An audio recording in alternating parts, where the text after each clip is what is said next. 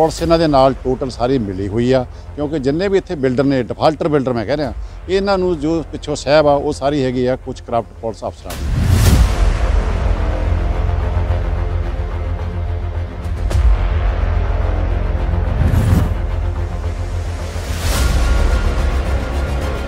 ਉਹਨੂੰ ਚੱਕ ਕੇ, ਕੁੱਟ ਕੇ, ਗੱਡੀ ਸਿੱਟ ਕੇ ਲਿਜਾ ਕੇ ਥਾਣੇ 'ਚ ਲੈ ਗਏ। ਦੇਖੋ ਕਿੰਨੀ ਹਿੰਮਤ ਆ, ਉਹਨੂੰ ਮਤਲਬ ਇੱਕ ਕਿਸਮ ਦਾ ਉਹਨੇ ਗਵਾਹ ਕੀਤਾ ਅਗਵਾ ਕਰਕੇ ਲੈ ਕੇ ਥਾਣੇ ਸਿੱਟ ਗਏ।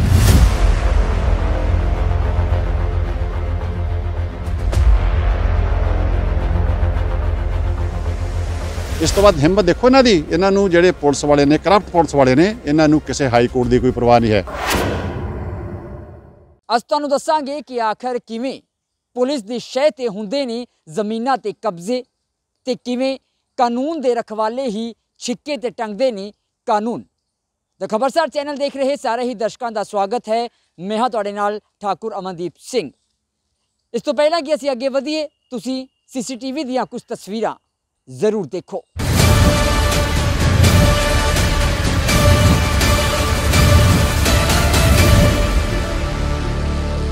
ਤੁਸੀਂ ਦੇਖੀਆਂ ਸੀਸੀਟੀਵੀ ਦੀਆਂ ਉਹ ਤਸਵੀਰਾਂ ਜੋ ਗਵਾਹੀ ਦੇ ਰਹੀਆਂ ਨੇ ਸਰਿਆਮ ਗੁੰਡਾਗਰਦੀ ਦੀਆਂ।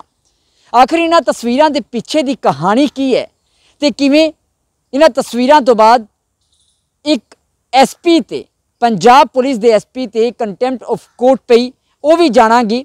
ਸਾਡੇ ਨਾਲ ਇਸ ਵੇਲੇ ਮੌਜੂਦ ਨੇ ਸਟੇਟ ਅਵਾਰਡੀ ਤੇ ਉੱਗੇ ਸਮਾਜ ਸੇਵੀ ਸਰਦਾਰ ਆਲਮਜੀਤ ਸਿੰਘ ਮਾਨ। ਸਭ ਤੋਂ ਪਹਿਲਾਂ ਸਵਾਗਤ ਕਰਾਂਗੇ। ਸਰ ਬਹੁਤ ਸਵਾਗਤ ਹੈ ਤੇ ਖਬਰਸਾਰ ਤੇ। ਮਿਹਰਬਾਨੀ ਤੁਹਾਡੀ ਜੀ। ਸਰ ਇਹ ਸੀਸੀਟੀਵੀ ਦੀਆਂ ਜੋ ਤਸਵੀਰਾਂ ਨੇ ਤੁਹਾਡਾ ਸੰਬੰਧ ਇਹਨਾਂ ਦੇ ਨਾਲ ਕੀ ਹੈ? ਤੇ ਨਾਲ ਸੁਣਨ ਚ ਇਹ ਵੀ ਆਇਆ ਕਿ ਇਸ ਤੋਂ ਬਾਅਦ ਕਹਾਣੀ ਕੁਝ ਹੋਰ ਘੁੰਮੀ ਤੇ ਕਿਸੇ ਐਸਪੀ ਸਾਹਿਬ ਤੇ ਵੀ ਕੰਟੈਂਪਟ ਆਫ ਕੋਰਟ ਪਈ ਹੈ। ਮਾਮਲਾ ਕੀ ਹੈ ਪੂਰਾ? ਇਹਦੇ ਚ ਇਦਾਂ ਹੈ ਜੀ ਮੈਂ 2008 ਦੇ ਵਿੱਚ ਇੱਥੇ ਇੱਕ ਬਿਲਡਰ ਨੇ 골ਡਨ ਸੈਂਟ ਘੋਲੀ ਜੀਰਕਪੁਰ ਵਾਲੇ ਤੇ ਐਮਐਮਡੀ ਇਨਫਰਾਸਟ੍ਰਕਚਰ ਵਾਲੇ ਇਹਨਾਂ ਨੂੰ ਮੈਂ 29 ਕਰੋੜ ਦੀ ਇੱਕ ਜ਼ਮੀਨ ਵੇਚੀ ਸੀ ਆਪਣੀ 29 ਕਰੋੜ 15 ਲੱਖ ਦੀ ਜਿਹਦੇ ਚ ਉਹਨਾਂ ਨੇ ਮੈਨੂੰ 4 ਕਰੋੜ 37 ਲੱਖ ਰੁਪਏ ਦਿੱਤਾ ਤੇ ਇਹਨਾਂ ਨੇ ਮੈਨੂੰ 6 ਮਹੀਨਿਆਂ ਦੇ ਵਿੱਚ ਇਹਨਾਂ ਨੇ ਮੈਨੂੰ ਸਾਰੀ ਪੇਮੈਂਟ ਕਰਨੀ ਸੀ। ਤਿੰਨ ਮਹੀਨੇ ਬਾਅਦ ਇਹਨਾਂ ਨੇ ਮੈਨੂੰ ਹੋਰ ਪੇਮੈਂਟ ਕਰਨੀ ਸੀ। ਇਹ ਬੰਦੇ ਇੰਨੇ ਸ਼ਾਤਰ ਨਿਕਲੇ ਇਹਨਾਂ ਨੇ ਮੇਰੀ ਜ਼ਮੀਨ ਦੇ ਉੱਪਰ ਜਾਲੀ ਜਿਹੇ ਨਕਸ਼ੇ ਬਣਾ ਕੇ 4-500 ਡੀਲਰ ਇਕੱਠਾ ਕੀਤਾ 11/8/2008 ਨੂੰ ਸੇਮ ਡੇ ਜਦੋਂ ਮੇਰੇ ਨਾਲ ਨੇ ਐਗਰੀਮੈਂਟ ਕੀਤਾ 100 ਕਰੋੜ ਰੁਪਏ ਇਕੱਠਾ ਕੀਤਾ ਦੁਬਈ ਭੱਜ ਗਏ। 4-500 ਡੀਲਰ? ਜਾਂ 4-500 ਡੀਲਰ ਇਹਨਾਂ ਨੇ ਨਿਮੰਤਰਣ ਮੈਨਰ ਪਹਿਲੇ ਜੀਰਕਪੁਰ ਦੇ ਵਿੱਚ ਇਹਨਾਂ ਨੇ ਇਕੱਠਾ ਕੀਤਾ। ਤੇ ਜਾਲੀ ਜਿਹੇ ਨਕਸ਼ੇ ਬਣਾ ਲਏ ਜੀ ਬਣਾ ਕੇ ਜਦ ਕਿ ਮੈਂ ਇਹਨਾਂ ਨੂੰ ਪੋਜੀਸ਼ਨ ਦਿੱਤਾ ਹੈ। ਮੇਰੇ ਐਗਰੀਮੈਂਟ ਦੇ ਵਿੱਚ ਕਲੀਅਰ ਕੱਟ ਲਿਖਿਆ ਆ ਵੀ ਮੈਂ ਪੋਜੀਸ਼ਨ ਉਦੋਂ ਦਊਂਗਾ ਜਦੋਂ ਇਹ ਮੇਰੀ ਪੂਰੀ ਰਜਿਸਟਰੀ ਕਰਾ ਲੈਣਗੇ। ਅੱਜ ਤੱਕ ਇਹਨਾਂ ਨੇ ਨਾ ਮੇਰੀ ਪੂਰੀ ਰਜਿਸਟਰੀ ਕਰਾਈ ਆ। ਇਹਨਾਂ ਨੇ ਮੇਰੀ ਜ਼ਮੀਨ ਸਾਰੀ ਖੁਰਦ-ਬੁਰਦ ਕਰਤੀ। ਅੱਜ ਘੱਟੋ ਘੱਟ ਵੀ 12 ਸਾਲ ਅਗੇ ਮੈਨੂੰ ਧੱਕੇ ਖਾਂਦਿਆਂ ਨੂੰ ਪੁਲਿਸ ਇਹਨਾਂ ਦੇ ਨਾਲ ਟੋਟਲ ਸਾਰੀ ਮਿਲੀ ਹੋਈ ਆ। ਕਿਉਂਕਿ ਜਿੰਨੇ ਵੀ ਇੱਥੇ ਬਿਲਡਰ ਨੇ ਡਿਫਾਲਟਰ ਬਿਲਡਰ ਮੈਂ ਕਹਿ ਰਿਹਾ ਇਹਨਾਂ ਨੂੰ ਜੋ ਪਿੱਛੋਂ ਸਹਿਬ ਆ ਉਹ ਸਾਰੀ ਹੈਗੀ ਆ ਕੁਝ ਕਰਪਟ ਪੁਲਿਸ ਅਫਸਰਾਂ ਦੀ। ਜਿਹਦੇ ਵਿੱਚ ਹੁਣ ਕੀ ਹੋਇਆ ਜੀ ਇਹਨਾਂ ਨੇ ਹੁਣ ਪਿਛਲੇ 12 ਸਾਲ ਤੋਂ ਬਾਅਦ ਜਦੋਂ ਇਹਨਾਂ ਨੇ ਮੇਰੀ ਜ਼ਮੀਨ ਤੇ ਕਬਜ਼ਾ ਕਰਨ ਦੀ ਕੋਸ਼ਿਸ਼ ਕੀਤੀ ਆ 19 11 2019 ਨੂੰ। ਇਹ ਤਾਂ ਇੰਨਾ ਸ਼ੁਕਰ ਆ ਕਿ ਉੱਥੇ ਮੇਰੇ ਸੀਸੀਟੀਵੀ ਕੈਮਰੇ ਲੱਗੇ ਸੀ। ਇਹ ਜਿਹੜੇ ਕਬਜ਼ੇ ਵੀ ਨੇ ਇਹ ਵੀ ਐਸਪੀ ਹਰਮਨਦੀ ਹਰਮਨਦੀਪ ਹਾਂਸ ਦੇ ਕਹਿਣ ਤੇ ਹੋਏ ਐਸਐਸਪੀ ਚਹਿਲ ਸਾਹਿਬ ਦੇ ਕਹਿਣ ਤੇ ਹੋਏ ਨੇ ਇਹ ਉੱਥੇ ਕਰਨ ਚਲੇ ਗਏ। ਜਦੋਂ ਇਹਨਾਂ ਨੇ ਦੇਖਿਆ ਵੀ ਉੱਥੇ ਤੁਹਾਨੂੰ ਕਿਵੇਂ ਪਤਾ ਵੀ ਕਬਜ਼ੇ ਉਹਨਾਂ ਤੇ ਕਹਿਣ ਤੇ ਹੋਏ ਆ? ਮੈਂ ਦੱਸ ਰਿਹਾ ਸਰ ਇਹ ਮੈਂ ਉੱਥੇ ਆਉਣ ਲੱਗਿਆ ਤੁਹਾਡੇ ਕੋਲੇ ਕਿਉਂਕਿ ਜਦੋਂ ਇਹ ਉੱਥੇ ਕਬਜ਼ਾ ਕਰਨ ਗਏ ਐਸਐਸਪੀ ਸਾਹਿਬ ਨੂੰ ਤੇ ਅਸੀਂ ਐਸਐਚਓ ਸਾਹਿਬ ਨੂੰ ਤੇ ਇਹਨਾਂ ਨੂੰ ਅਸੀਂ ਪਹਿਲਾਂ ਹੀ ਹਫਤਾ ਪਹਿਲਾਂ ਦੱਸਤਾ ਸੀ ਕਿ ਸਾਨੂੰ ਇਹਨਾਂ ਦੀਆਂ ਕਰਤੂਤਾਂ ਦਾ ਪਤਾ ਲੱਗ ਰਿਹਾ ਸੀ। ਚਿੱਠੀਆਂ ਨੂੰ ਪਹਿਲਾਂ ਹੀ ਪਾਤੀਆਂ ਸੀ ਵੀ ਇਹ ਬੰਦੇ ਸਾਨੂੰ ਕਿਸੇ ਤਰੀਕੇ ਨਾਲ ਵੀ ਸਾਡੀ ਜ਼ਮੀਨ ਤੇ ਕਬਜ਼ਾ ਕਰਨ ਦੀ ਕੋਸ਼ਿਸ਼ ਕਰਨਗੇ। ਕਿਉਂਕਿ ਮੈਨੂੰ ਪਤਾ ਸੀ ਪੁਲਿਸ ਨਾਲ ਮਿਲੀ ਹੋਈ ਆ ਕਾਫੀ ਦੇਰ ਤੋਂ ਨਾਲ ਚੱਲਦੀ ਆ ਰਹੀ ਸੀ ਇਹਨਾਂ ਦੇ। ਕਿਉਂਕਿ ਹੁਣ ਇਹ ਮੌਕਾ ਇਹਨਾਂ ਨੂੰ ਆ ਗਿਆ ਸੀ ਵੀ ਹੁਣ ਕਿਸੇ ਤਰੀਕੇ ਦੇ ਨਾਲ ਹਾਈ ਕੋਰਟ ਦੇ ਵਿੱਚ ਇਹ ਜਿਹੜਾ ਮਾਮਲਾ ਚੱਲਿਆ ਗਿਆ ਕਿਉਂ ਇਹਨਾਂ ਦੇ ਉੱਪਰ ਹੁਣ ਪਰਚੇ ਹੋਣੇ ਸ਼ੁਰੂ ਹੋ ਗਏ ਸੀ। ਉਲਟਾ ਕਿਉਂ ਜਿਹੜੇ ਇਹਨਾਂ ਨੇ ਮੇਰੇ ਤੇ ਜਾਲੀ ਪਰਚੇ ਕਰਾਏ ਸੀ ਉਦੋਂ ਇਹਨਾਂ ਤੇ ਕ੍ਰਾਸ ਪਰਚੇ ਬਣ ਗਏ ਅਮਿਤ ਨੰਦਾ ਪਵਨ ਸ਼ਰਮਾ ਤੇ। ਉਸ ਤੋਂ ਬਾਅਦ ਇਹਨਾਂ ਨੇ ਕੀ ਕੀਤਾ ਜੀ? ਜਦੋਂ ਇਹ ਸਵੇਰੇ 7:47 ਮਿੰਟ ਤੇ ਮੇਰੇ ਉੱਥੇ ਰੈਸਟੋਰੈਂਟ 'ਚ ਗਏ, ਸਵੇਰੇ ਸਰਦੀਆਂ ਟਾਈਮ ਸੀ, ਇੰਨਾ ਸ਼ੁਕਰ ਆ ਕਿ ਮੇਰੇ ਸੀਸੀਟੀਵੀ ਕੈਮਰੇ ਲੱਗੇ ਸੀ, ਮੇਰਾ ਉੱਥੇ ਕੇਅਰ ਟੇਕਰ ਸੀ, ਜਦੋਂ ਇਹਨਾਂ ਨੂੰ ਪਵਨ ਸ਼ਰਮਾ, ਅਮਿਤ ਨੰਦਾ ਨੂੰ ਰੋ- ਰੋਕਿਆ ਟਰੈਕਟਰ ਤੇ ਆਏ ਇਹ ਨੀਲੇ ਰੰਗ 'ਤੇ ਅਮਿਤ ਨੰਦਾ ਆਪਣੀ ਗੱਡੀ ਤੇ ਆਇਆ 4455 ਤੇ ਤੇ ਨਾਲ ਇਹਦੇ ਆਪਣੇ ਗੁੰਡੇ ਸੀਗੇ ਹੋਰ 15 20 ਇਹਨਾਂ ਨੇ ਆਉਂਦੇ ਪਹਿਲਾਂ ਉੱਥੇ ਬੋਰਡ ਗੱਡਿਆ ਬੋਰਡ ਗੱਡਣ ਦੀ ਕੋਸ਼ਿਸ਼ ਕੀਤੀ ਵੀ ਚਲੋ ਕਬਜ਼ਾ ਸ਼ੋਅ ਕਰ ਦਾਂਗੇ, ਕੋਰਟ ਦੇ ਵਿੱਚ ਸੀ ਚੱਲ ਰਿਹਾ ਕੇਸ ਸਾਰਾ ਤੇ ਜਦੋਂ ਉਹਨੇ ਰੋਕਣ ਦੀ ਕੋਸ਼ਿਸ਼ ਕੀਤੀ ਤੁਸੀਂ ਆ ਸੀਸੀਟੀਵੀ ਦੇਖ ਲਈ ਆ ਫੁਟੇਜ ਉਹਦੇ ਚ ਕਿੰਨੀ ਬੁਰੀ ਤਰ੍ਹਾਂ ਕੁੱਟ ਕੇ ਲੈ ਕੇ ਚੱਕ ਕੇ ਇਹਨੂੰ ਥਾਣੇ ਜੀਰਕਪੁਰ ਦੇ ਵਿੱਚ ਸਿੱਟ ਗਏ ਉਸ ਤੋਂ ਬਾਅਦ ਆਰਾਮ ਨਾਲ ਆਪਣੇ ਘਰ ਜਾ ਵੜੇ। ਨਹੀਂ ਕਿਹਨੂੰ ਸੁੱਟ ਕੇ ਗਏ ਜ਼ਿਲਕਪੁਰ ਥਾਣੇ ਦੇ ਵਿੱਚ? ਮੇਰੇ ਕੇਅਰ ਟੇਕਰ ਕੁਲਵਿੰਦਰ ਸਿੰਘ ਨੂੰ ਜੀ। ਠੀਕ ਹੈ ਨਾ? ਉਹਨੂੰ ਚੱਕ ਕੇ ਕੁੱਟ ਕੇ ਗੱਡੀ ਸਿੱਟ ਕੇ ਲਿਜਾ ਕੇ ਥਾਣੇ 'ਚ ਲੈ ਗਏ। ਦੇਖੋ ਕਿੰਨੀ ਹਿੰਮਤ ਆ। ਉਹਨੂੰ ਮਤਲਬ ਇੱਕ ਕਿਸਮ ਦਾ ਉਹਨੇ ਗਵਾਹ ਕੀਤਾ ਅਗਵਾ ਕਰਕੇ ਲੈ ਕੇ ਥਾਣੇ ਸਿੱਟ ਗਏ। ਸਰ ਜਿਹੜੇ ਕੁੱਟਦੇ ਪਏ ਨੇ ਉਹ ਬੰਦੇ ਕੌਣ ਕੌਣ ਨੇ? ਉਹਦੇ 'ਚ ਮੇਨ ਅਮਿਤ ਨੰਦਾ ਜੀ। ਜਿਹੜਾ ਕਿ 골ਡਨ ਸੈਂਟ ਢਕੋਲੀ ਦਾ ਜਿਹੜਾ ਵਾ ਪਾਰਟਨਰ ਆ ਤੇ ਪਵਨ ਸ਼ਰਮਾ। ਉਹ ਦੋ ਬੰਦੇ ਨੇ, ਬਾਕੀ ਇਹਦੇ ਨਾਲ ਹੋਰ ਜਿਹੜੇ ਨੇ, ਇਹਦੇ ਵਰਕਰ ਨੇ, ਇਹਦੇ ਹੋਰ ਇਹਦੇ ਹਿੱਸੇਦਾਰ ਵੀ ਨੇ। ਉਹ ਸਾਰੇ ਬੰਦੇ ਨੇ ਜੀ। ਹੁਣ ਕੀ ਆ ਇਹ ਕਿ ਜਦੋਂ ਇਹਨਾਂ ਨੇ ਹੁਣ ਦੇਖਿਆ ਵੀ ਇਹਨਾਂ ਦੇ ਹੁਣ ਪਰਚਾ ਦਰਜ ਹੋ ਗਿਆ ਐਸਐਸਪੀ ਚਹਿਲ ਸਾਹਿਬ ਦੀ ਹੁਣ ਬਦਲੀ ਹੋਣ ਵਾਲੀ ਸੀ। ਠੀਕ ਹੈ ਨਾ? ਉਹਨਾਂ ਨੇ ਇਹ ਸੋਚਿਆ ਵੀ ਹੁਣ ਇਹ ਇਸ ਤੋਂ ਬਾਅਦ ਸਾਰੇ ਅਫਸਰਾਂ ਦੀ ਬਦਲੀ ਹੋ ਜਾਣੀ ਆ, ਵੀ ਉਸ ਤੋਂ ਜਾਂਦੇ ਜਾਂ ਜਾਣ ਤੋਂ ਪਹਿਲਾਂ ਪਹਿਲਾਂ ਵੀ ਹੁਣ ਇਹਦਾ ਪਰਚਾ ਕੈਂਸਲ ਕਰ ਦਈਏ, ਵੀ ਮਾਨ ਆਪੇ ਤੁਰਿਆ ਫਿਰੂਗਾ। ਜਦੋਂ ਮੈਨੂੰ ਇਹ ਗੱਲ ਦਾ ਪਤਾ ਲੱਗਿਆ, ਮੈਂ ਮਾਨ ਕੋ ਮੈਂ ਮਾਨਯੋਗ ਹਾਈ ਕੋਰਟ ਚਲਿਆ ਗਿਆ। ਹਾਈ ਕੋਰਟ ਦੇ ਵਿੱਚ ਜਾ ਕੇ ਮੈਂ ਦੱਸਿਆ ਮੈਂ ਕਿਹਾ ਜੀ ਪੁਲਿਸ ਇਹਨਾਂ ਨਾਲ ਸਾਰੀ ਮਿਲੀ ਹੋਈ ਆ ਵੀ ਆ ਸਾਡੀਆਂ ਫੁਟੇਜ ਨੇ ਵੀ ਇਹਨਾਂ ਦੇ ਇਹਨਾਂ ਜਿਹੜੇ ਧਾਰਾ ਧਰਾਵਾਂ ਲਾਈਆਂ ਨੇ। ਪਹਿਲਾਂ ਇਹ ਦੱਸੋ ਜਿਹੜਾ ਤੁਸੀਂ ਪਰਚਾ ਕਰਵਾਇਆ ਪਰਚਾ ਪਰਚਾ ਸੌਖਾ ਹੋ ਗਿਆ ਸੀ ਜੇ ਤੁਸੀਂ ਕਹਿ ਰਹੇ ਹੋ ਵੀ ਸ਼ਾਇਦ ਤੇ ਹੋਇਆ ਹੈ ਜਾਂ ਕੁਝ ਪੁਲਿਸ ਵਾਲੇ ਕਰਪਟ ਜਿਹੜੇ ਨੇ ਉਹ ਮਿਲੇ ਹੋਏ ਨੇ ਤਾਂ ਪਰਚਾ ਸੌਖਾ ਮੈਨੂੰ ਲੱਗਦਾ ਨਹੀਂ ਹੋਇਆ ਹੋਣਾ ਕਿ ਜਾਂ ਹੋ ਗਿਆ ਸੀ? ਨਾ ਨਾ ਨਾ ਜੀ ਨਾ ਮੈਂ ਦੱਸ ਰਿਹਾ ਜੀ ਮੈਂ ਪੂਰੇ ਦੁਪਹਿਰ ਤੱਕ ਤਾਂ ਮੈਂ ਇਹਨਾਂ ਦੇ ਫੋਨਾਂ ਤੇ ਮੈਂ ਇਹਨਾਂ ਦੀਆਂ ਮਿੰਤਾਂ ਕਰੀ ਗਿਆ ਜੀ। ਇਹ ਉਦੋਂ ਐਸਪੀਡੀ ਜਿਹੜੇ ਨੇ ਹਰਮਨਦੀਪ ਫਾਂਸ ਉਹ ਇੰਚਾਰਜ ਨੇ ਇੱਧਰ ਦੇ। ਉਹਨਾਂ ਕੋਲੇ ਜਦੋਂ ਉਹਨਾਂ ਨੇ ਮੇਰੀ ਕੋਈ ਗੱਲ ਨਾ ਸੁਣੀ ਮੈਂ ਉਹਨੇ ਦਫ਼ਤਰ ਜਾ ਕੇ ਬੈਠ ਗਿਆ। ਮੈਂ ਕਿਹਾ ਸਰ ਹੁਣ ਮੈਨੂੰ ਇਹ ਦੱਸੋ ਵੀ ਤੁਸੀਂ ਪਰਚਾ ਕਰਨਾ ਨਹੀਂ ਕਰਨਾ ਜਾਂ ਮੈਂ ਹਾਈ ਕੋਰਟ ਜਾਵਾਂ ਠੀਕ ਨਹੀਂ ਮੇਰੀ ਗੱਲ। ਜਦੋਂ ਉਹਨਾਂ ਨੂੰ ਪਤਾ ਲੱਗ ਗਿਆ ਵੀ ਹੁਣ ਗੱਲ ਵੱਧਦੀ ਆ ਉਦੋਂ ਬਾਅਦ ਹੀ ਚਾਕ ਕੇ ਇਹਨਾਂ ਨੇ ਸ਼ਾਮ ਨੂੰ 6:30 7 ਵਜੇ ਐਸਐਚਓ ਗੁਰਚਰਨ ਸਿੰਘ ਹੁੰਦੇ ਸੀ ਉਹਨਾਂ ਨੇ ਇਹਨਾਂ ਤੇ ਪਰਚਾ ਦਿੱਤਾ। ਤੁਸੀਂ ਸੀਸੀਟੀਵੀ ਦੀ ਫੁਟੇਜ ਦਿਖਾਈ ਸੀ ਉਹਨਾਂ ਨੂੰ? ਹਾਂਜੀ ਹਾਂ ਬਿਲਕੁਲ। ਤਾਂ ਹੀ ਤਾਂ ਪਰਚਾ ਹੋਇਆ ਜੀ। ਇਹ ਜੇ ਮੈਂ ਸੀਸੀਟੀਵੀ ਤੇ ਫੋਟੋ ਨਾ ਦਿਖਾਉਂਦਾ ਐਸਪੀਡੀ ਹਰਮਨਦੀਪ ਹਾਂਸ ਨੂੰ ਤਾਂ ਪਰਚਾ ਵੀ ਨਹੀਂ ਹੋਣਾ ਸੀ। ਜੀ ਉਸ ਤੋਂ ਬਾਅਦ ਇਹਨਾਂ ਨੇ ਥੋੜੀਆਂ ਧਰਾਵਾਂ ਲਾ ਕੇ ਪਰਚਾ ਦਿੱਤਾ। ਦੇਖੋ 19 ਤਰੀਕ ਨੂੰ ਪਰਚਾ ਦਰਜ ਕਰ ਰਹੇ ਨੇ। 25 ਤਰੀਕ ਨੂੰ ਉਹਨਾਂ ਤੋਂ ਐਪਲੀਕੇਸ਼ਨ ਲੈ ਰਹੇ ਨੇ। ਕੈਂਸਲੇਸ਼ਨ ਦੀ 6 ਦਿਨ ਬਾਅਦ ਹੀ। ਇਹ ਤਾਂ ਹੁਣ ਸਾਨੂੰ ਹਾਈ ਕੋਰਟ 'ਚੋਂ ਪਤਾ ਲੱਗਿਆ ਵੀ ਇਹਨਾਂ ਨੇ 6 ਦਿਨ ਬਾਅਦ ਹੀ ਉਹ ਤੋਂ ਐਪਲੀਕੇਸ਼ਨ ਲੈ ਲਈ। ਉਸ ਤੋਂ ਬਾਅਦ 6 ਦਿਨ ਤੋਂ 25 ਦੇ ਮਤਲਬ 25 ਤੋਂ ਲੈ ਕੇ 25 ਨਵੰਬਰ ਤੋਂ ਲੈ ਕੇ ਹੁਣ ਹੁਣ ਤੱਕ ਜਾ ਕੇ ਇਹਨਾਂ ਨੇ ਜਦੋਂ ਨੂੰ ਪਤਾ ਲੱਗ ਗਿਆ ਵੀ ਮੈਂ ਹਾਈ ਕੋਰਟ ਚਲਿਆ ਗਿਆ। 21 ਜੁਲਾਈ ਨੂੰ ਆ ਦੇਖੋ। 21 ਜੁਲਾਈ ਨੂੰ ਆ ਦੇਖੋ, ਜੱਜ ਸਾਹਿਬ ਆਰਡਰ ਕਰ ਰਹੇ ਨੇ ਵੀ ਸਟੇਟ ਇਹਨਾਂ ਨੂੰ ਕੋਈ ਵੀ ਕੈਂਸਲੇਸ਼ਨ ਇਸ ਐਫ ਆਈ ਆਰ ਦੀ ਨਹੀਂ ਭਰੇਗੀ। ਠੀਕ ਹੈ ਨਾ? ਉਸ ਦੇ ਬਾਅਦ ਇਹ ਉਸੇ ਐਫਆਈਆਰ ਦੀ ਗੱਲ ਹੋ ਰਹੀ ਹਾਂ, ਮੈਂ ਕੈਮਰਾ ਦੀ। ਪਰਸਨ ਨੂੰ ਕਹਾਂਗਾ ਇੱਕ ਵਾਰ ਜ਼ਰੂਰ ਇੱਥੇ ਪੜ੍ਹ ਕੇ ਮੈਂ ਮੈਂ ਮੈਂ ਪੜ੍ਹ ਕੇ ਸੁਣਾਉਣਾ ਹੈ ਜੀ ਐਫਆਈਆਰ ਨੰਬਰ ਉੱਤੇ ਲਿਖੀ ਹੋਈ ਹੈ। 434 ਐਫਆਈਆਰ ਨੰਬਰ ਲਿਖੀ ਐਫਆਈਆਰ 434 ਬਟਾ 2019 ਪੁਲਿਸ ਸਟੇਸ਼ਨ ਜ਼ੀਰਕਪੁਰ। ਤੇ ਥੱਲੇ ਜਿਹੜੇ ਮਾਨਯੋਗ ਕੋਰਟ ਦੇ ਆਰਡਰਸ ਨੇ ਉਹ ਮੈਂ ਪੜ੍ਹ ਕੇ ਇੱਕ ਵਾਰ ਜ਼ਰੂਰ ਸੁਣਾਵਾਂਗਾ। In the mean time the state shall not file the cancellation report qua the FIR which is the subject matter of the present petition. ਮਤਲਬ ਕਿ ਜਿਹੜਾ ਸਟੇਟ ਹੈ ਜਾਂ ਪੁਲਿਸ ਹੈ ਉਹ ਕੈਂਸਲੇਸ਼ਨ ਰਿਪੋਰਟ ਐਫਆਈਆਰ ਦੀ ਦਾਖਲ ਨਹੀਂ ਕਰੇਗਾ। ਫਿਰ ਮਤਲਬ ਦਾਖਲ ਨਹੀਂ ਕੀਤੀ। ਨਾ ਉਸ ਤੋਂ ਬਾਅਦ ਜੀ ਦੇਖੋ ਇਹਦੇ ਵਿੱਚ ਕੀ ਆ ਇਹ ਅਮਿਤ ਨੰਦੇ ਦਾ ਵਕੀਲ ਆ ਜੀ ਏਡੀਐਸ ਜਰਾਣਾ। ਜੀ। ਇਹਦੇ ਚ 17 7 ਤੋਂ ਲੈ ਕੇ 18 ਤੱਕ ਇਹ ਅਕਿਊਜ਼ ਨੇ। ਜੀ। ਇਹ ਜਿਹੜੇ ਬੰਦੇ ਨੇ। ਜੀ। ਇਹਨਾਂ ਨੇ ਉਹਦਾ ਨੋਟਿਸ ਰਿਸੀਵ ਕੀਤਾ 21 ਤਰੀਕ ਨੂੰ ਜੱਜ ਸਾਹਿਬ ਤੋਂ। ਚਲੋ ਨੋਟਿਸ ਰਿਸੀਵ ਕਰ ਲਿਆ। ਇਹਦਾ ਮਤਲਬ ਕਿ ਪੁਲਿਸ ਵਾਲਿਆਂ ਨੇ ਮੰਨਿਆ ਹੋਣਾ ਨਾ ਜੱਜ ਇਹ ਮਾਨਯੋਗ ਹਾਈ ਕੋਰਟ ਦਾ ਆਰਡਰ ਤਾਂ ਮੰਨਿਆ ਹੋਣਾ। ਐਫ ਆਈ ਆਰ ਕੈਨਸਲ ਤਾਂ ਨਹੀਂ ਕੀਤੀ? ਨਾ ਨਾ ਨਾ ਨਾ ਨਾ ਆ ਦੇਖੋ ਸਰ ਉਸ ਤੋਂ ਬਾਅਦ ਨੈਕਸਟ ਡੇ 22 ਤਰੀਕ ਨੂੰ ਆ ਦੇਖੋ। ਆ ਦੇਖੋ ਜੀ। 22 ਤਰੀਕ ਨੂੰ ਗੁਰਬਖਸ਼ੀਰ ਸਿੰਘ ਐਸਪੀ ਜਿਹੜਾ ਡੀਐਸਪੀ ਆ ਜੀ ਇਹ ਰਿਪੋਰਟ ਕਰ ਰਿਹਾ। 22 ਤਰੀਕ ਨੂੰ ਆ ਦੇਖੋ 22 7 ਨੂੰ। ਕਿੱਥੇ?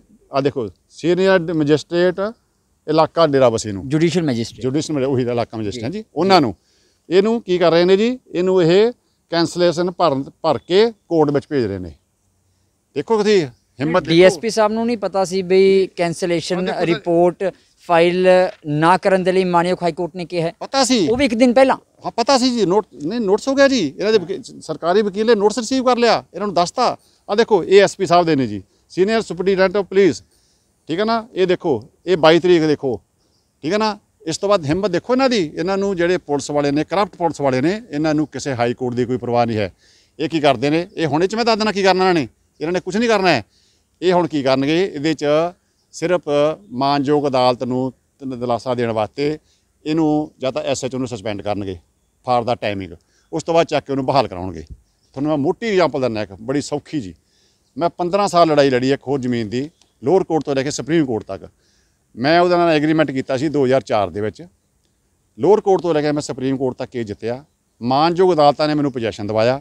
ਪੋਜੈਸ਼ਨ ਦਿਵਾਉਣ ਤੋਂ ਬਾਅਦ ਉਦੋਂ ਵੀ ਇੱਥੇ ਕੁਲਦੀਪ ਸਿੰਘ ਚਹਿਲ ਹੀ ਸੀ 2018 ਦੀ ਗੱਲ ਆ ਇਹ। ਇਹਨਾਂ ਨੇ ਕੀ ਕੀਤਾ ਜੀ? ਉਹ ਦੂਜੀ ਪਾਰਟੀ ਨਾਲ ਮਿਲ ਕੇ 9 ਕਿੱਲੇ ਜ਼ਮੀਨ ਸੀ ਮੇਰੀ ਉਹ। ਉੱਥੇ ਜਾ ਕੇ ਜੀ ਇਹਨਾਂ ਨੇ ਮੇਰਾ ਟਰੈਕਟਰ ਚੱਕ ਲਿਆਂਦਾ। ਚੱਕ ਕੇ ਲਿਆ ਕੇ ਮੇਰਾ ਥਾਣੇ 'ਚ ਬੰਦ ਕਰਤਾ। ਮੈਂ ਜਦੋਂ ਥਾਣੇ 'ਚ ਗਿਆ ਤਾਂ ਉੱਥੇ ਐਸਐਚ ਹੁੰਦੇ ਸੀ ਪਵਨ ਸ਼ਰਮਾ। ਮੈਂ ਪਵਨ ਸ਼ਰਮਾ ਜੀ ਨੂੰ ਕਿਹਾ, ਮੈਂ ਕਿਹਾ, ਸ਼ਰਮਾ ਜੀ, ਤੁਸੀਂ ਗਲਤ ਕੀਤਾ ਵੀ ਮੈਂ ਹਾਈ ਕੋਰਟ ਤੋਂ, ਲੋਅਰ ਕੋਰਟ ਤੋਂ, ਸੁਪਰੀਮ ਕੋਰਟ ਤੱਕ ਮੈਂ ਕੇਸ ਜਿੱਤ ਕੇ ਆਇਆ ਵੀ ਮੈਨੂੰ ਪੋਜੀਸ਼ਨ ਕੋਰਟ ਨੇ ਦਵਾਇਆ ਵੀ ਤੁਸੀਂ ਇਹ ਧੱਕਾ ਨਹੀਂ ਕਰ ਸਕਦੇ। ਉਹਨਾਂ ਨੇ ਮੇਰੀ ਕੋਈ ਨਹੀਂ ਸੁਣੀ। ਫਿਰ ਮੈਨੂੰ ਅਲਟੀਮੇਟਲੀ ਹਾਈ ਕੋਰਟ ਜਾਣਾ ਪਿਆ।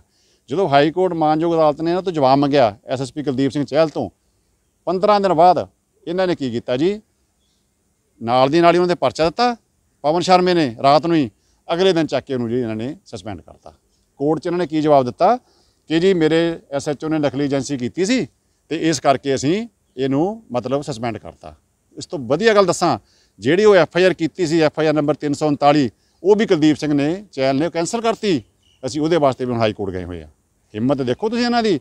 ਮਤਲਬ ਇਹਨਾਂ ਨੂੰ ਕੋਈ ਡਰ ਭੌ ਨਹੀਂ ਹੈਗਾ। ਮੈਂ ਅੱਜ ਤੁਹਾਡੇ ਚੈਨਲ ਦੇ ਰਾਹੀਂ ਦੱਸ ਰਿਹਾ, ਪਰਮਾਤਮਾ ਦੇ ਕਿਰਪਾ ਨਾਲ ਜੇ ਕਿਤੇ ਸਾਡੇ ਸਿਰ ਦੇ ਉੱਪਰ ਮਾਨਯੋਗ ਅਦਾਲਤਾਂ ਨਾ ਹੋਣ, ਹਾਈ ਕੋਰਟ ਨਾ ਹੋਵੇ, ਇਹ ਜਿਹੜੇ ਜਿੰਨੇ ਵੀ ਪੁਲਿਸ ਕਰਪਟ ਕਰਪਟ ਪੁਲਿਸ ਵਾਲੇ ਨੇ ਈਵਨ ਲੀਡਰ ਵੀ ਨਾ ਨਾ ਮਿਲੇ ਹੋਏ ਨੇ, ਮੈਂ ਇਹ ਕਹਿੰਦਾ ਇਹ ਨਹੀਂ ਕਹਿੰਦਾ ਹੈਗਾ, ਪਰ ਜ਼ਿਆਦਾਤਰ ਪੁਲਿਸ ਵਾਲੇ, ਕਿਉਂ ਪੁਲਿਸ ਵਾਲਿਆਂ ਨੂੰ ਇਹ ਹੁੰਦਾ ਵੀ ਸਰਕਾਰਾਂ ਤਾਂ ਆਈਆਂ ਤੇ ਗਈਆਂ, ਇਹਨਾਂ ਨੇ ਸਰਕਾਰਾਂ ਸਾਰੀਆਂ ਦੇਖੀਆਂ ਹੁੰਦੀਆਂ। ਠੀਕ ਹੈ ਨਹੀਂ ਚਾਹੇ ਉਹ ਕਾਲੀਆਂ ਦੀ ਆ, ਚਾਹੇ ਉਹ ਕਾਂਗਰਸ ਦੀ ਆ, ਚਾਹੇ ਉਹ ਬੀਜੇਪੀ ਦੀ ਆ। ਅਫਸਰਾਂ ਨੇ ਲੱਗਣਾ ਠੋਕ ਕੇ ਆ। ਠੋਕ ਕੇ ਕਾ ਲੱਗਣਾ ਜੀ ਅਗਲਾ ਕਹਿੰਦਾ, ਲੀਡਰ ਕਿਉਂ ਡਰਦੇ ਨੇ? ਅਗਲਾ ਕਹਿੰਦਾ ਯਾਰ 5 ਸਾਲ ਹੈਗੇ ਆ 5 ਸਾਲ ਬਾਅਦ ਇਹਨਾਂ ਨੇ ਫੇਰ ਆਉਣਾ। ਠੀਕ ਨਹੀਂ ਉਹ ਡਰਦੇ ਇਹਨਾਂ ਨੂੰ ਕੁਝ ਕਹਿੰਦੇ ਨਹੀਂ ਹੈ। ਇਹਨਾਂ ਦੇ ਅਗੇਂਸਟ ਕੋਈ ਨਹੀਂ ਬੋਲਦਾ ਹੈ। ਔਰ ਮੈਂ ਬੋਲਿਆ, ਤਾਂ ਜਦ ਤੱਕ ਮੈਂ ਇਹਦੀ ਸੱਚਾਈ ਨਹੀਂ ਕੱਢ ਕੇ ਹਟਦਾ, ਤਾਂ ਮੈਂ ਚਾਹੇ ਮੇਰੀ ਜਾਨ ਵੀ ਚਲੀ ਜਾਵੇ, ਮੈਂ ਪਿੱਛੇ ਨਹੀਂ ਹਟਾਂਗਾ। ਕਿਉਂ? ਮੇਰੇ ਇਹ ਸੱਚ ਦੀ ਆਵਾਜ਼ ਨੂੰ ਦਬਾਉਣਾ ਚਾਹੁੰਦੇ ਨੇ, ਮੈਂ ਕਿਸੇ ਕੀਮਤ ਤੇ ਦਵਾਂਗਾ ਨਹੀਂ। ਮੈਨੂੰ 32 ਸਾਲ ਹੋ ਗਏ, ਮੈਂ ਇੱਕ ਸੋਸ਼ਲ ਦਾ ਕੰਮ ਕਰਦਾ ਆ ਰਿਹਾ।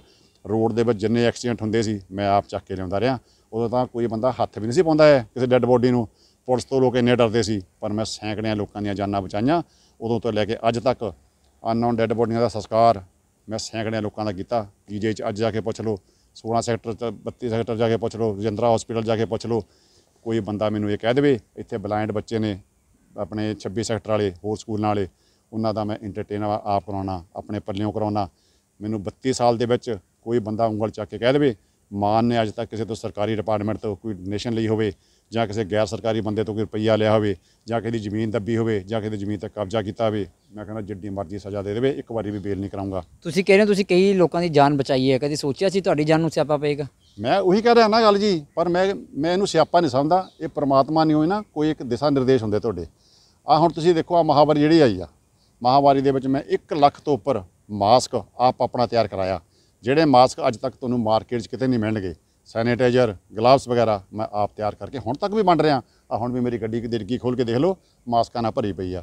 ਰਾਹ ਦੇ ਵਿੱਚ ਮੈਨੂੰ ਕੋਈ ਵੀ ਗਰੀਬ ਬੰਦਾ ਟੱਕਰ ਜੇ, ਕੋਈ ਮੈਨੂੰ ਪੁਲਿਸ ਵਾਲਾ ਨਾਕੇ ਤੇ ਟੱਕਰ ਜੇ, ਕੋਈ ਆਮ ਬੰਦਾ ਟੱਕਰ ਜੇ, ਮੈਂ ਰੋਕ ਕੇ ਗੱਡੀ ਇਮੀਡੀਏਟ ਉਹਨਾਂ ਨੂੰ ਪਹਿਲਾਂ ਮਾਸਕ ਦਿੰਦਾ। ਗੱਡੀ 'ਚ ਮੇਰੇ ਆ ਪਾਣੀ ਦੀਆਂ ਬੋਤਲਾਂ ਪਈਆਂ ਹੁੰਦੀਆਂ, ਉਹ ਵੀ ਦਿੰਦਾ। ਜੇ ਮੈਂ ਕਹਿੰਦਾ ਨਾ ਵੀ ਮੇਰੇ ਤੇ ਇਹ ਜੀ ਮੁਸੀਬਤ ਮੈਂ ਵਸੀਮ ਸਕਦਾ ਇਹ ਮੇਰੀ ਕਿਸਮਤ 'ਚ ਆ। ਪਤਾ ਨਹੀਂ ਪਰਮਾਤਮਾ ਨੂੰ ਕੀ ਮਨਜ਼ੂਰ ਆ। ਨਹੀਂ ਲੇਕਿਨ ਬਿਲਕੁਲ ਕਿਉਂਕਿ ਅ, ਰੱਬ ਦੇ ਘਰੇ ਤਾਂ ਅਮਲਾਂ ਦੇ ਨਿਬੇੜੇ ਹੋਣੇ ਨੇ ਉੱਥੇ ਇਹ ਨਹੀਂ ਦੇਖਣਾ ਬੰਦਾ ਕੌਣ ਹੈ ਕੌਣ ਨਹੀਂ ਕਿਹੜੀ ਜਾਤ ਧਰਮ ਦਾ ਹੈਗਾ ਕਿਹੜਾ ਅਹੁਦਾ ਸੀ। ਕੰਮ ਚੰਗੇ ਨੇ ਤਾਂ ਸਭ ਕੁਝ ਉੱਥੇ ਠੀਕ ਹੋਣਾ ਲੇਕਿਨ ਬੜੀ ਹੈਰਾਨੀ ਵਾਲੀ ਗੱਲ ਹੈ 21 ਤਰੀਕ ਨੂੰ ਮਾਨਯੋਗ ਜੋ ਹਾਈ ਕੋਰਟ ਹੈ ਉਹ ਕਹਿੰਦਾ ਹੈ ਕਿ ਕੈਂਸਲੇਸ਼ਨ ਰਿਪੋਰਟ ਫਾਈਲ ਨਾ ਕੀਤੀ ਜਾਵੇ ਐਫ ਆਈ ਆਰ ਤੇ। ਪਰ ਅਗਲੇ ਹੀ ਦਿਨ ਉਸ ਐਫ ਆਈ ਆਰ ਨੂੰ ਪੁਲਿਸ ਵੱਲੋਂ ਕੈਂਸਲ ਕੀਤਾ ਜਾਂਦਾ ਹੈ। ਮਤਲਬ ਕਿ ਸਮਝੀਏ ਕਿ ਮਾਨਯੋਗ ਹਾਈ ਕੋਰਟ ਦਾ ਵੀ ਹੁਣ ਡਰ ਨਹੀਂ ਰਿਹਾ। ਉਸ ਤੋਂ ਬਾਅਦ ਮਾਨਯੋਗ ਹਾਈ ਕੋਰਟ ਵੱਲੋਂ ਸੁਣਨ ਚ ਆਇਆ ਕੋਈ ਤੁਹਾਡੇ ਵੱਲੋਂ ਕੋਈ ਕੰਟੈਂਪਟ ਆਫ ਕੋਰਟ ਪਾਈ ਗਈ ਸੀ ਤੇ ਐਕਸ਼ਨ ਵੀ ਹੋਇਆ ਉਹਦੇ ਉੱਤੇ? ਹਾਂਜੀ, ਹੁਣ ਜਿਹੜੇ ਜੀ ਕੰਟੈਂਪਟ ਜਿਹੜਾ ਮੈਂ by name Harmandeep Hans SPD ਨੇ ਜੀ ਇੱਥੇ ਆਪਣੇ ਮਹਾਲੀ 'ਚ ਤੇ ਐਸਐਚਓ ਆ ਗੁਰਵੰਤ ਸਿੰਘ। ਇਹਨਾਂ ਦੇ ਉੱਪਰ ਮੈਂ ਬਾਈ ਨੇਮ ਕੰਟੈਂਪਟ ਪਾਈ ਹੈ ਜੀ। ਹੁਣ ਮਾਨਯੋਗ ਅਦਾਲਤਾਂ ਨੇ ਇਹਨੂੰ ਨੋਟਿਸ ਕੀਤਾ, ਜਿਹਦੀ ਨੈਕਸਟ ਡੇਟ ਦਸੰਬਰ ਦੀ ਹੈਗੀ ਆ।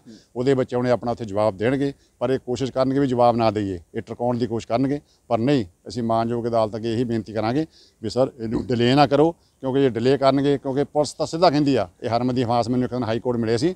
ਮੈਨੂੰ ਪਤਾ ਹੀ ਕਹਿੰਦੇ ਸੀ ਜਿੱਥੇ ਕਹਿੰਦਾ ਪੁਲਿਸ ਇੰਨੀ ਤੁਰੀ ਫਿਰਦੀ ਆ, ਉੱਥੇ ਜੇ ਹੋਰ ਕਹਿੰਦਾ ਚਾਰ ਪੁਲਿਸ ਵਾਲੇ ਤੁਰੇ ਫਿਰਨਗੇ, ਸਾਨੂੰ ਕੀ ਫ਼ਰਕ ਪੈਣ ਲੱਗਿਆ? ਇਹਦੀ ਮੇਰੇ ਕੋਲ ਸਾਰਾ ਪ੍ਰੂਫ ਹੈ ਇਹ ਗੱਲ ਦਾ, ਜਿਹੜੀ ਮੈਂ ਤੁਹਾਡੇ ਗੱਲ ਦੇ ਚੈਨਲ ਦੇ ਥਰੂ ਕਹਿੰਦਾ, ਹਰਮਨਦੀਪ ਹਾਸ ਨੂੰ ਮੇਰੇ ਸਾਹਮਣੇ ਬਿਠਾ ਕੇ ਤੁਸੀਂ ਗੱਲ ਕਰ ਸਕਦੇ ਹੋ। ਇਹਨਾਂ ਦਾ ਮੇਰੇ ਕੋਲ ਇਹੋ ਜਿਹੇ ਪ੍ਰੂਫ ਹੈਗੇ ਨੇ ਕਿ ਜਿਹੜੇ ਕਿ ਮੈਂ ਮਾਨਯੋਗ ਅਦਾਲਤ ਦੇ ਸਾਹਮਣੇ ਰੱਖਾਂਗਾ ਔਰ ਇਹਨਾਂ ਨੂੰ ਮੈਂ ਦੱਸਾਂਗਾ ਵੀ ਤੁਸੀਂ ਕਿੱਦਾਂ ਲੋਕ ਭੋਲੇ ਭਾਲੇ ਲੋਕ ਲੁੱਟੇ ਹੋਏ ਨੇ। ਇਹਨਾਂ ਨੇ ਕੀ ਕੀਤਾ ਹੋਇਆ?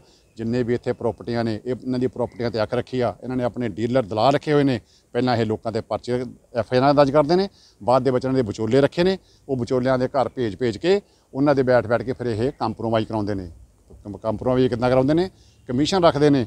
ਜੇ ਮੰਨ ਲਓ ਤੁਹਾਡੀ 100 ਕਰੋੜ ਦੀ ਪ੍ਰਾਪਰਟੀ ਆ, ਉਹਦੇ ਤੇ 10% ਉਹਦੇ ਤੇ 15% ਕਮਿਸ਼ਨ ਰੱਖਦੇ ਨੇ। ਜਿਹਦੇ ਕੋਲ ਪੈਸੇ ਨਹੀਂ ਹੁੰਦੇ ਆ, ਉਹਨਾਂ ਤੋਂ ਫਿਰ ਇਹ ਬੇਨਾਮੀਆਂ ਪ੍ਰਾਪਰਟੀਆਂ ਲੈਂਦੇ ਨੇ। ਕਿਸੇ ਕਿਸੇ ਦੇ ਨਾਮ ਤੇ ਇਹ ਪ੍ਰਾਪਰਟੀਆਂ ਬਣਾਉਂਦੇ ਨੇ। ਇਹ ਮੈਂ ਤੁਹਾਡੇ ਅੱਜ ਮੱਧ ਚੈਨਲ ਦੇ ਮਾਧਿਅਮ ਨਾਲ ਦੱਸ ਰਿਹਾ। ਕਿ ਮੈਨੂੰ ਕੋਈ ਕਿਸੇ ਦਾ ਡਰ ਨਹੀਂ ਹੈ। ਮੈਂ ਜਿਹੜੀ ਚੀਜ਼ ਹੋਊਗੀ ਵਿਦ ਪ੍ਰੂਫ ਜਿੱਥੇ ਮੈਨੂੰ ਕਹਿਣਗੇ ਮੈਂ ਡੀਜੀਪੀ ਸਾਹਿਬ ਨੂੰ ਵੀ ਕਹਿਣਾ ਸੀਐਮ ਸਾਹਿਬ ਵੀ ਕਹਿਣਾ ਵੀ ਮੈਨੂੰ ਟਾਈਮ ਦੇਣ। ਮੈਂ ਸੀਐਮ ਸਾਹਿਬ ਤੇ ਡੀਜੀਪੀ ਸਾਹਿਬ ਨੂੰ ਵਿਦ ਪ੍ਰੂਫ ਜਾ ਕੇ ਕੱਲੀ ਕੱਲੀ ਚੀਜ਼ ਦੇ ਅਫਸਰ ਬਾਰੇ ਤੁਹਾਨੂੰ ਦੱਸਾਂਗਾ। ਅਗਰ ਇਸ ਪ੍ਰੂਫ ਦੇ ਵਿੱਚ ਮੇਰਾ ਕੋਈ ਵੀ ਸੱਚਾਈ ਨਹੀਂ ਹੋਈ ਤਾਂ ਮੈਨੂੰ ਜਿਹੜੀ ਮਰਜ਼ੀ ਸਜ਼ਾ ਦੇ ਦਿਓ। ਸਰ ਇਹਨਾਂ ਬੰਦਿਆਂ ਦੀ ਐਫ ਆਈ ਆਰ ਕੈਨਸਲ ਕਰਨ ਦੇ ਵਿੱਚ ਇਹਨਾਂ ਦਾ ਕੀ ਰੋਲ ਹੈ? ਤੁਸੀਂ ਕਹਿ ਰਹੇ ਹੋ ਵੀ ਇਹਨਾਂ ਨੇ ਇਹਨਾਂ- ਨੇ ਕਰਵਾਈ ਹੈ। ਇਹਨਾਂ ਇਹਨਾਂ ਦਾ ਕੀ ਵਿੱਚ ਰੋਲ ਸਰ ਰੋਲ ਇਹ ਆ। ਮੈਂ ਦੱਸ ਦਿੰਦਾ ਦਾ ਇਹ ਕੀ ਰੋਲ ਆ ਜੀ? ਹਰਮਨਦੀਪ ਹਾਂ ਤੇ ਜਿਹੜੇ ਐਸਐਸਪੀ ਉਹਨਾਂ ਦਾ ਰੋਲ ਕੀ ਆ, ਇਹ ਹੈਗੇ ਨੇ ਇੱਕ ਬਿਲਡਰ। ਬਿਲਡਰਾਂ ਦਾ ਆਪਣਾ ਕੋਈ ਪੈਸਾ ਨਹੀਂ ਹੈ। ਇਹਨਾਂ ਦੇ ਇਸ ਟਾਈਮ 8 ਪਰਚੇ ਦਰਜ ਨੇ। ਇਹਨਾਂ ਨੂੰ ਅੱਜ ਜੇ ਪੁਲਿਸ ਬਚਾਉਂਦੀ ਆ, ਸਾਰੇ ਬਿਲਡਰਾਂ ਨੂੰ ਡਿਫਾਲਟਰ ਬਿਲਡਰਾਂ ਨੂੰ ਡਿਫਾਲਟਰ ਜਿਹੜੇ ਪੁਲਿਸ ਵਾਲੇ ਨੇ, ਉਹ ਬਚਾ ਰਹੇ ਨੇ। ਇਹਨਾਂ ਦਾ ਰੋਲ ਇਹੀ ਆ ਵੀ ਮਾਨ ਤੇ ਪਰਚੇ ਪੁਰਚੇ ਦੇ ਕੇ ਤੇ ਇਦਾਂ ਦਾ ਉਹਦਾ ਕਰਕੇ ਕਿ ਉਹਨਾਂ ਨੇ ਪੈਸੇ ਮੁੱਟੇ ਖਾਦੇ ਹੋਏ ਇਹਨਾਂ ਤੋਂ? ਮੈਂ ਗਰੰਟੀ ਨਾ ਕਰਨਾ ਜੇ ਨਾ ਖਾਦੇ ਹੁਣ। ਅੱਜ ਮੈਂ ਕਹਿੰਦਾ ਅਮਿਤ ਨੰਦੇ ਨੂੰ ਚੱਕ ਕੇ ਕਿਸੇ ਥਰਡ ਪੁਲਿਸ ਵਾਲੇ ਨੂੰ ਦੇ ਦਿਓ। ਜੇ ਤੋਤੇ ਵਾਂਗੂ ਨਾ ਬੋਲੇ ਵੀ ਮੈਂ ਫਲਾਣੇ ਅਫਸਰ ਨੂੰ ਕੀ ਦਿੱਤਾ? ਤੁਹਾ- ਤੁਹਾਡਾ ਕਹਿਣਾ ਹੈ ਕਿ ਰਿਸ਼ਵਤ ਮੋਟੀ ਚੜੀ ਹੈ ਜਿਸ ਕਰਕੇ ਕਿ ਨੀਅਤ ਖੋਟੀ ਹੋਈ ਹੈ? ਹਾਂ ਬਿਲਕੁਲ। ਇੱਕ ਤਾਂ ਨੰਬਰ ਇੱਕ ਤਾਂ ਰਿਸ਼ਵਤ ਮੋਟੀ ਚੜੀ ਆ। ਉਹਨੂੰ ਇਹ ਇਹ ਨਾ ਨੰਦੇ ਨੂੰ ਨਹੀਂ ਬਚਾ ਰਹੇ ਹੈਗੇ ਆ ਅਮਿਤ ਨੰਦੇ ਨੂੰ ਨਹੀਂ ਬਚਾ ਰਹੇ। ਇਹ ਆਪਣੇ ਆਪ ਨੂੰ ਬਚਾ ਰਹੇ ਨੇ। ਇਹਨਾਂ ਨੂੰ ਪਤਾ ਇੱਥੇ ਇਹ ਵਿਕਾਸ ਦੁਬੇ ਜਿਹੜਾ ਮਾਰਿਆ ਨਾ ਉਹ ਕਾਨਪੁਰ ਵਾਲਾ। ਪੁਲਿਸ ਨੇ ਉਹ ਕਿਉਂ ਮਾਰਿਆ? ਉਹ ਇਸ ਕਰਕੇ ਮਾਰਿਆ ਗਿਆ ਕਿ ਉਹਨੂੰ ਪਤਾ ਸੀ ਪੁਲਿਸ ਦੇ ਜਿਹੜੇ ਨੇ ਲੂਪ ਕੋਲੇ ਬਹੁਤ ਜ਼ਿਆਦਾ ਸੀ। ਉਹਦਾ ਇਨਕਾਊਂਟਰ ਇਸ ਕਰਕੇ ਕੀਤਾ ਗਿਆ ਇਹ ਦੂਜਾ, ਉਹ ਦੂਜਾ ਵਿਕਾਸ ਦੁਬੇ ਆ ਅੱਜ ਮੈਂ ਤੁਹਾਨੂੰ ਗਰੰਟੀ ਨਾਲ ਗੱਲ ਕਹਿਣਾ ਇਸ ਬੰਦੇ ਨੇ ਘੱਟੋ ਘੱਟ ਨੇ, ਇੱਕ ਨਹੀਂ ਹੈ ਇਦੋਂ ਪਹਿਲਾਂ ਮੈਂ ਚਾਰ ਪੁਲਿਸ ਅਫਸਰ ਹੋਰ, ਜਿਸ ਆਰ ਕੇ ਜੈਸਵਾਲ ਐਸਟੀਐਫ ਵਾਲਾ, ਉਹਨਾਂ ਨੂੰ ਵੀ ਮੈਂ ਕੋਰਟ ਦੇ ਵਿੱਚ ਲੈ ਕੇ ਜਾਇਆ ਹਰਮਨਦੀਪ ਜਿਹੜਾ ਇੱਕ ਵਾਰ ਹੈ, ਇਹ ਗੁਰਸ਼ਰਦੀਪ ਗਰੇਵਾਲ ਆ ਇੱਕ ਜੱਲਾ ਹੈਗਾ ਜੀ, ਜਗਜੀਤ ਜੱਲਾ, ਇੱਕ ਉਹ ਹੈਗਾ ਜੀ, ਤੇ ਇੱਕ ਹੈਗਾ ਸੋਪਨ ਸ਼ਰਮਾ ਐਸਐਸਪੀ ਰੋਪੜ ਸੀ ਜੀ। ਇਹ 6 ਬੰਦਿਆਂ ਦਾ 7 ਬੰਦਿਆਂ ਦਾ ਇੱਕ ਗਰੁੱਪ ਆ, ਬਹੁਤ ਜ਼ਿਆਦਾ। ਤੁਸੀਂ ਕਿਸੇ ਵੀ ਬਿਲਡਰ ਨੂੰ ਜਾ ਕੇ ਆਪਣਾ ਇੰਟਰਨਲ ਜਾ ਕੇ ਪੁੱਛੋ ਵੀ ਤੋਤੋਂ ਕਿੰਨੇ ਰੁਪਏ ਮਹੀਨੇ ਲੈਂਦੇ ਨੇ ਪੁਲਿਸ ਵਾਲੇ? ਸਿਰਫ ਡਰਦੇ ਮੂਰੇ ਨਹੀਂ ਆਉਂਦੇ ਆ? ਤੇ ਜਿਹੜਾ ਜਿਨ੍ਹਾਂ ਦਾ ਨਾਮ ਤੁਸੀਂ ਹੁਣ ਲਿਆ ਹੈ ਉਹਨਾਂ ਉਹਨਾਂ ਦਾ ਕੀ ਰੋਲ ਹੈ? ਕੀ ਤੁਹਾਡਾ ਨਾਲ ਤੁਹਾਡੇ ਨਾਲ ਕੀ ਲੈਣਾ ਦੇਣਾ ਉਹਨਾਂ ਦਾ? ਮੈਂ ਦੱਸ ਰਿਹਾ ਜੀ ਗੱਲ। ਉਹਨਾਂ ਦਾ ਵੀ ਮੈਂ ਦੱਸ ਦੇਣਾ ਤੁਹਾਨੂੰ ਕੀ ਰੂਲ ਆ। ਉਹਨਾਂ ਦੇ ਉੱਪਰ ਵੀ ਮੈਂ ਹਾਈ ਕੋਰਟ ਦੇ ਵਿੱਚ ਬਾਈ ਨੇਮ ਉਹਨਾਂ ਤੇ ਮੈਂ ਰਿਟ ਪਾਈ ਹੋਈ ਆ। ਔਰ ਬਾਈ ਨੇਮ ਹਾਈ ਕੋਰਟ ਨੇ ਉਹਨਾਂ ਦੇ ਮੈਂ ਤੁਹਾਨੂੰ ਆਰਡਰ ਦਿਖਾਉਣਾ ਹੁਣੇ। ਆਪਣੇ 10 10 ਜੁਲਾਈ ਨੂੰ ਆਰਡਰ ਕੀਤੇ ਨੇ ਆਪਣੇ ਮਾਨਯੋਗ ਅਦਾਲਤਾਂ ਨੇ ਵੀ ਇਹ ਚਾਰ ਬੰਦਿਆਂ ਤੋਂ ਆਲਮਜੀਤ ਸਿੰਘ ਮਾਨ ਨੂੰ ਖਤਰਾ ਜਿਹਦੇ ਚ ਗੁਰਸ਼ਰਨਦੀਪ ਗਰੇਵਾਲ ਜਗਜੀਤ ਜੱਲਾ, ਸ਼ੋਪਨ ਸ਼ਰਮਾ ਜੀ ਆ ਤੇ ਕੁਲਦੀਪ ਸਿੰਘ ਚਹਿਲ ਨੇ। ਬਕਾਇਦਾ ਮਾਨਯੋਗ ਅਦਾਲਤ ਨੇ ਆਰਡਰ ਕੀਤੇ ਨੇ ਵੀ ਮੇਰੀ ਜਿਹੜੀ ਆ ਲਾਈਫ ਤੇ ਲਿਬਰਟੀ ਵਾਸਤੇ ਮੈਨੂੰ ਸਿਕਿਉਰਿਟੀ ਪ੍ਰੋਵਾਈਡ ਕੀਤਾ ਜਾਵੇ। ਠੀਕ ਹੈ ਨਾ? ਇਸੇ ਕਰਕੇ ਕਿਉਂਕਿ ਇਹ ਬੰਦਿਆਂ ਦਾ ਗਰੁੱਪ ਸੀ, ਇਹ ਜਦੋਂ ਜਿਹੜਾ ਇੱਕ ਮੇਰਾ ਪਰਚਾ ਸੀ, ਖੰਨੇ ਮੈਂ ਦਰਜ ਕਰਾਇਆ ਸੀ ਇਹਦੇ ਤੇ, ਨੰਦੇ ਤੇ। ਇਹਨਾਂ ਨੇ ਮੈਨੂੰ ਚੈੱਕ ਦਿੱਤਾ ਸੀ 14 ਲੱਖ ਰੁਪਏ ਦਾ। ਉਹ ਚੈੱਕ ਉੱਥੇ ਬਾਉਂਸ ਹੋ ਗਿਆ ਸੀ, ਖੰਨੇ 'ਚ ਜਦੋਂ ਮੈਂ ਰਹਿੰਦਾ ਸੀ, ਉਹ ਪਰਚਾ ਇਹਨਾਂ ਦੇ ਮੈਂ ਕਰਾਇਆ ਸੀ। ਉਹ ਪਰਚੇ ਦੇ ਵਿੱਚ ਮਾਨਯੋਗ ਅਦਾਲਤਾਂ ਨੇ ਹੁਕਮ ਕੀਤਾ ਸੀ ਡੀਜੀਪੀ ਸਾਹਿਬ ਨੂੰ ਵੀ ਇਹਦੀ ਪੂਰੀ ਡੂੰਘਾਈ ਨਾਲ ਮੈਨੂੰ ਡਿਟੇਲ 'ਚ ਦੱਸਿਆ ਜਾਵੇ। ਮਾਨਯੋਗ ਅਦਾਲਤਾਂ ਦੇ ਆਰਡਰਾਂ ਤੋਂ ਬਾਅਦ ਡੀਜੀਪੀ ਪੰਜਾਬ ਨੇ ਬਕਾਇਦਾ ਉਹਦੇ ਤੇ ਡੂੰਘਾਈ ਦੇ ਨਾਲ ਜਦੋਂ ਇਨਕੁਆਇਰੀ ਕੀਤੀ, ਪਹਿਲਾਂ ਇਹਨਾਂ ਦੇ ਉੱਪਰ ਲੱਗੀ ਸੀ 406 120 ਵੀ। ਉਹਦੇ 420 ਦਾ ਵਾਧਾ ਹੋਇਆ ਵੀ ਨਹੀਂ, ਇਹ ਬੰਦਿਆਂ ਨੇ ਆਲਮਜੀਤ ਸਿੰਘ ਮਾਨ ਦੀ ਜ਼ਮੀਨ ਦੇ ਉੱਪਰ ਪੈਸਾ ਇਕੱਠਾ ਕਰਕੇ ਦੁਬਈ ਲੈ ਕੇ ਗਏ ਨੇ। ਕਲੀਅਰ ਆਇਆ ਉਹ 'ਚ ਆਰਡਰਾਂ 'ਚ, ਜਿਹੜਾ ਇੱਥੋਂ ਮਤਲਬ ਰਿਪੋਰਟ ਬਣੀ ਆ 54 ਪੇਜ ਦੀ, ਔਰ ਨਾਲ ਇਹ ਵੀ ਦੱਸਿਆ ਵੀ ਜਦੋਂ ਇਹਨਾਂ ਨੇ ਜ਼ਮੀਨ ਖਰੀਦੀ ਆ, ਇਹਨਾਂ ਦੇ ਕਿਸੇ ਵੀ 12 ਦੇ 12 ਦੇ ਬੰਦਿਆਂ ਦੇ ਅਕਾਊਂਟ ਦੇ ਵਿੱਚ ਕੋਈ ਪੈਸਾ ਨਹੀਂ ਸੀ ਹੈ। ਜਦੋਂ ਉਹਨਾਂ ਨੇ ਇਹਨਾਂ ਦੀ ਸਟੇਟਮੈਂਟ ਮੰਗਾਈ ਕੋਈ ਪੈਸਾ ਨਹੀਂ ਸੀ ਇਹਨਾਂ ਕੋਲੇ। ਜ਼ਮੀਨ ਮੇਰੀ ਕਿੰਨੀ ਕਲੀਅਰ ਨੇ? 29 ਕਰੋੜ 15 ਲੱਖ ਦੀ। ਕਿਸੇ ਕਿਉਂਕਿ ਅਕਾਊਂਟ ਦੇ ਵਿੱਚ ਰੁਪਈਆ ਵੀ ਨਹੀਂ ਹੈਗਾ ਤੇ 29 ਕਰੋੜ ਦੀ ਜ਼ਮੀਨ ਖਰੀਦੀ ਤੁਹਾਡੇ ਕੋਲ। 29 ਕਰੋੜ ਦੀ ਅਕਾਊਂਟ ਦੇ ਵਿੱਚ ਪੈਸਾ ਵੀ ਕੋਈ ਨਹੀਂ ਹੈ। 12 14 ਬੰਦਿਆਂ ਦੇ ਵਿੱਚ ਅੱਜ ਵੀ ਕਢਾ ਲਓ। ਮੈਂ ਗਰੰਟੀ ਨਾਲ ਕਹਿੰਦਾ ਜਿੱਦਣ ਇਹਨਾਂ ਨੇ ਮੇਰੀ ਜ਼ਮੀਨ ਦਾ ਸੌਦਾ ਕੀਤਾ ਇਹਨਾਂ ਦੀ ਜ਼ਮੀਨ ਇਹਨਾਂ ਦੇ ਅਕਾਊਂਟ ਦੇ ਵਿੱਚ ਕਿਸੇ ਦੇ ਅਕਾਊਂਟ ਦੇ ਵਿੱਚ ਜੇ ਕਿਸੇ ਦੇ ਅਕਾਊਂਟ ਦੇ ਵਿੱਚ ਵੀ 50000 ਰੁਪਏ ਜਾਂ ਲੱਖ ਰੁਪਏ ਤੋਂ ਵੱਧ ਹੋਵੇ ਤਾਂ ਮੈਨੂੰ ਕਹਿ ਦਿਓ। ਮਤਲਬ ਇਹੋ ਜਿਹੀਆਂ ਠੱਗੀਆਂ ਮਾਰਦੇ ਨੇ ਇਹ। ਇਹ ਜਿਹੀਆਂ ਠੱਗੀਆਂ ਮਾਰ ਕੇ ਮੈਂ ਕੱਲਾ ਨਹੀਂ ਹੈ।